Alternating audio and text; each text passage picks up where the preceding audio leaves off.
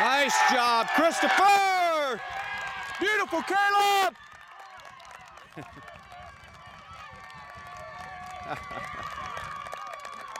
He's been wanting that goal all weekend. Finally got him one, Gerald.